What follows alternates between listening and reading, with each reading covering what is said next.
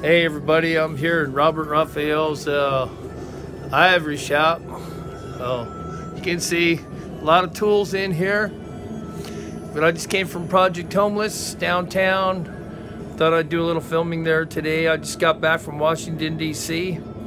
We're really excited about Trump being in office. I want to just encourage you all to pray for Donald Trump because he's a Cyrus 45 for the nation. He's been put there by God Himself to tear down uh, the walls of socialist, Marxist, antichrist agenda.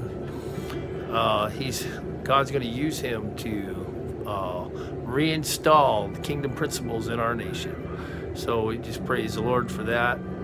So I got a little time. I'm going to do a.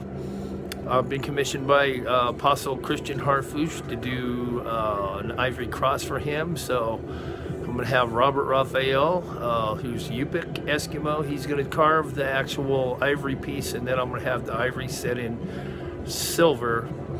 So we're really excited about that. I just want to uh, bless you all from the great state of Alaska. We all love you, and we just declare that Jesus Christ is Lord, and uh, we just declare that there is no other name whereby a man can be saved other than the Lord Jesus Christ. And we declare that grace came uh, the law came through Moses, but grace came through the and truth came through the Lord Jesus Christ.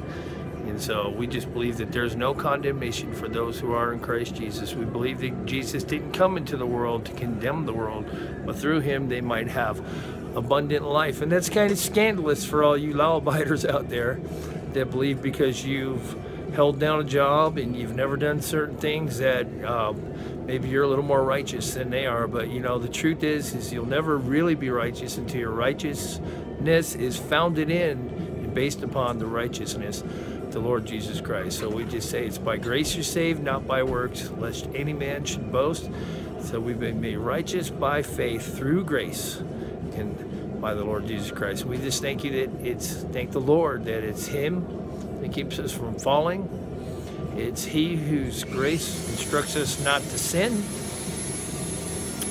And He is the one who uh, keeps us from falling. So, so we just thank the Lord that He's the one who works within us to will to do His good pleasure today.